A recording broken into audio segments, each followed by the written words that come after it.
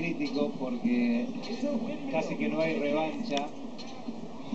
No tienen la posibilidad del desquite, el tiempo sigue corriendo y el desánimo puede alterar justamente la acción que requiere una concentración y este hombre Te dije que McLemore era tremendo. no tuvo ningún problema. Ay, ay, ay. Damien Lillard, este señor tiene una potencia. Barnes, adentro.